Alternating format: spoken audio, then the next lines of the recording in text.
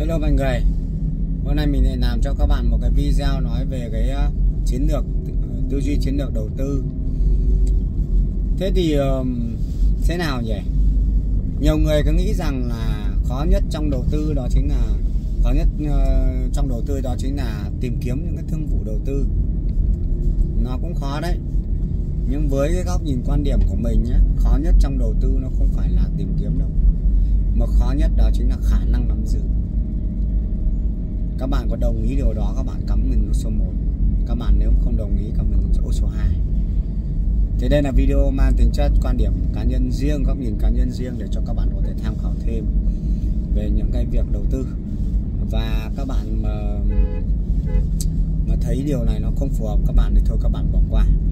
Được chưa còn với mình thì mình sẽ chia sẻ cho các bạn về cái góc nhìn của mình hiện nay mình đang đang làm. Đó là cái khó nhất trong đầu tư nó không đến từ nó không đến từ cái việc là tìm kiếm mà nó đến từ việc khả năng nắm giữ.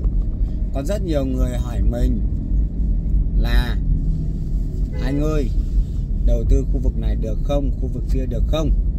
Mình bảo được nhưng em sẽ nắm giữ như thế nào? Đúng không? Được thật chứ. Các bạn có đồng ý là nhiều người khi đầu tư ấy, thì bán lại chẳng ai mua nó bán là bị lỗ cơ. Nhưng mà đến tay người khác cũng cái mảnh đất đấy cũng cái vị trí đấy mình bán cho người ta. Người ta lại nhuận lại hai ba lần năm lần.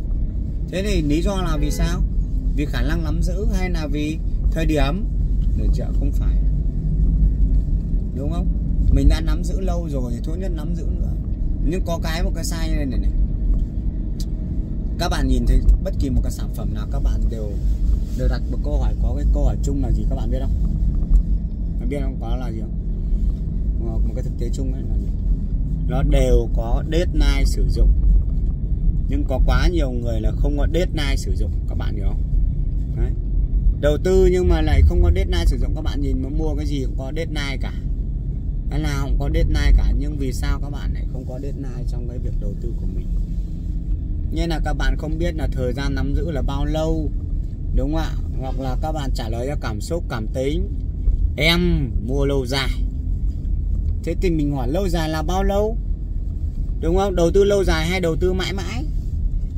Trả lời được không? Lâu dài là 3 năm hay là 5 năm? Đúng không? Nó khó lắm giữ ở cái chỗ đấy. Có nhiều người là nắm đến lúc mà chín rồi. Chẳng ăn để cho thằng khác vào hốc. Xong lại bảo mình không có lộc không có duyên. Đúng không? Nói thì cái khả năng nắm giữ của mình là cái khó nhất mà khả năng nắm giữ đây nó đến từ cái kiến thức từ cái kinh nghiệm từ cái từ cái trải nghiệm của mình. Còn nếu các bạn mà không có cái kinh nghiệm cái trải nghiệm của mình thì các bạn cũng không, sẽ không đầu tư được. Khó đầu tư lắm. Hiểu chưa rất khó có thể đầu tư. Đấy chúng ta phải nhìn với nhau là là là thực tế là như vậy nhá. Khả năng nắm giữ nó đến được kiến thức. Ví dụ à tôi ờ, định đầu tư cái này 5 năm bởi vì cái tiền của tôi là cái tiền nhàn rỗi. Tôi muốn để cái sổ tiết kiệm cho con. Mai kia làm cái của hồi môn cho nó. Đấy, năm nay nó 15 tuổi còn 20 tuổi rồi. Thì nó tốt nghiệp đại học thì tôi cho nó để nó có thể dựng cơ nghiệp. Đấy ví dụ như vậy. Đó là một mục đích người chưa đó là một cái để đưa ra cái deadline đấy. Nhưng có nhiều ông ê em mày muốn x hai ba. Thì mình bảo thế này động cơ ở đấy là cái gì mà mày đòi x hai ba?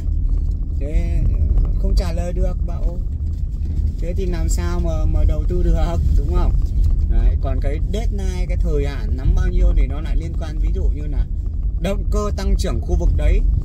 À, mỗi động cơ nó có một cái chu kỳ riêng đúng không?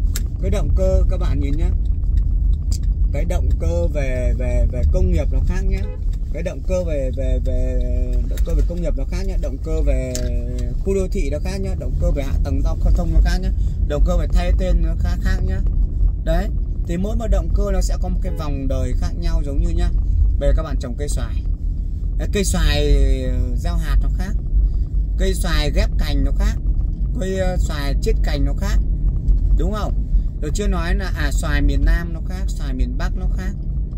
Đúng không ạ? Rồi lại so sánh đến xoài với nhãn nhiều ông đi đầu tư để cái so sánh mẹ nhà phố với cả đất cỏ. Nhiều ông lại mua so sánh hàng dự án với hàng nhà phố thì mình bảo là so sánh nên nó khập khiễng. Một thằng thì một thằng thì bán cái gì? Có thằng thì bán là à tôi uh, để mua cân cam.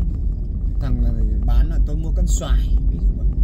Khác nhau đúng không không có được. Thế thì mình phải biết là cả cái vòng đời sản phẩm vòng đời cái động cơ đấy nó là bao lâu thì tự nhiên mình mới đưa ra được cái gì? Cái chiến lược nắm giữ khả năng nắm giữ nhá. Đưa ra cái deadline bắt đầu mới nói đến khả năng nắm giữ. À mình có kiên trì đến lúc đó hay không? Có thằng trồng vì sao trồng sữa đỏ chẳng hạn trồng trồng sữa đỏ trồng táo trồng lim chẳng hạn thì nó phải vài tầm nhìn là vài chục năm. Ê, à, bố ấy đưa cái cây lim đi cho những thằng cùng trồng chuối mẹ ăn đầu năm cuối năm nó, nó hái. Thì làm sao mà phù hợp? Đúng không? Nói gì thì nói chứ anh em mọi mọi người cũng phải nói cái câu đấy nó đúng chứ. Nhá nên là mình đưa ra là mình deadline mình biết được cái thời hạn sử dụng của động cơ đấy một cái một cái kết quả ok rồi thì bây giờ bắt đầu mình nói đến là à mình có đủ khả năng để nắm giữ không? Có đủ sức khỏe không? Nhiều ông già rồi bệnh tật rồi bây giờ bảo là nắm 20 năm nữa thì chịu. Đúng không? Thì bọn đấy chỉ bọn trẻ thôi đúng không? lực bất tòng tâm rồi. Thì mình chúng ta phải chọn phù hợp với bối cảnh của chúng ta nữa. Nên cái khả năng nắm giữ là một cái khó lắm. Khó xây dựng khó triển khai. Đấy, khó xây dựng đã xây dựng rất là khó rồi lại còn khó triển khai cơ xây dựng xong bố nó hết một cái kế hoạch rất là ngon business kinh doanh rất là ngon business đầu tư plan rất là ngon rồi. Nhưng mà lại không không triển khai được. Khổ thế chỗ đấy ví dụ mình bảo là đánh thông quanh theo hiệu ứng của Vin chẳng hạn. Mình bảo là kiểu gì cũng sẽ lợi nhuận, nhưng mà các bạn phải để 3 năm 5 năm nữa thì kiểu gì bạn ăn một lần ngon rất nhiều lần. Nhưng nhiều ông thì này quên hoặc quá. Giờ lên bố rồi, chắc Vin nó cũng thế này, nó thế kia. Mình có tin mặt trong đấy là Vin nó không, nó nó không làm nữa hoặc là triển khai dừng chẳng hạn. Thế là tự nhiên về cứ thế là đâm lo. Ờ, đâm lo xong bán nó đi.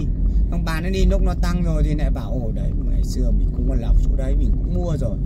Thế do ông như do ai nữa mà cứ phải đổ cho lỗi? Con người hay có cái kiểu đổ lỗi lắm.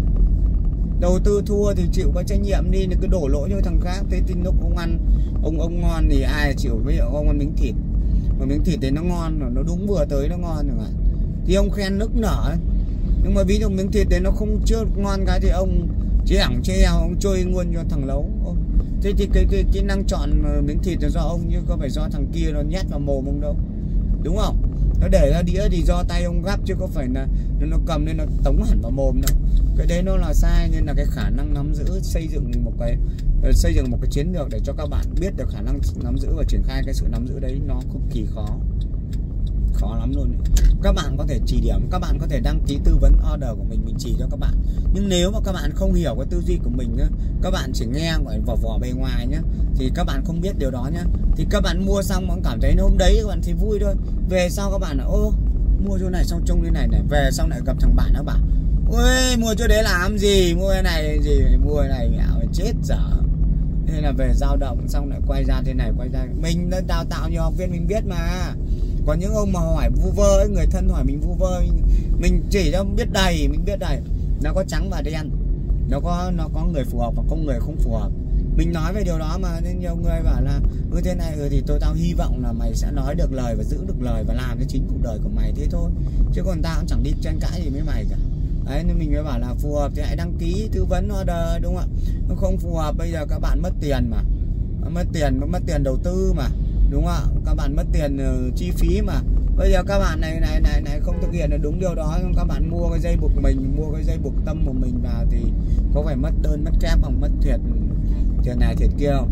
Nên xây dựng một cái chiến lược các bạn chú ý làm sao là nhìn nó là à, từ coi như là à, cái gì?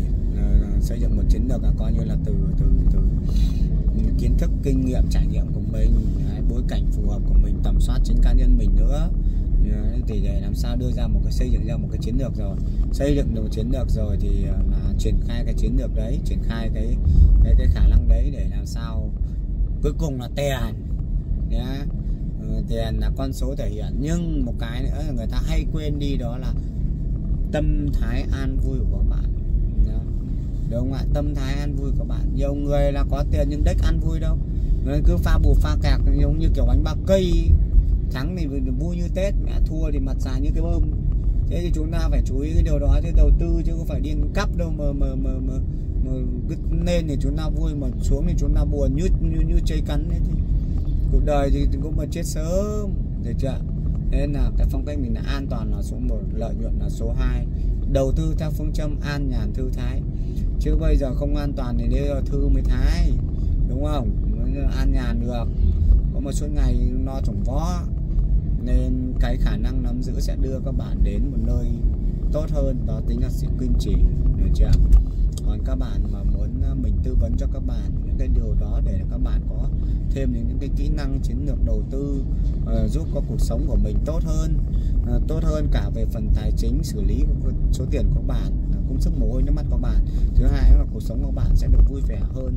Và cuối cùng chúng ta tiền là một phương tiện để giúp cho cuộc sống của chúng ta tốt hơn mà. Tiền không phải là tất cả, nhưng tiền có thể đưa chúng ta đến một cái môi trường tốt hơn. Ví dụ, chọn thằng hàng xóm chơi với mình. Ví dụ, chọn món mình ăn. Ví dụ, đi du lịch nơi mình thích. Thế thôi. Chứ nào nó cũng không sinh ra được chúng ta nó chỉ là tác động cho cuộc sống của chúng ta tốt hơn mà thôi. Xin chào và hẹn gặp lại. Anh em nào có đăng ký tư vấn order thì đăng ký số điện thoại hotline bên dưới mô tả nhé. Xin chào.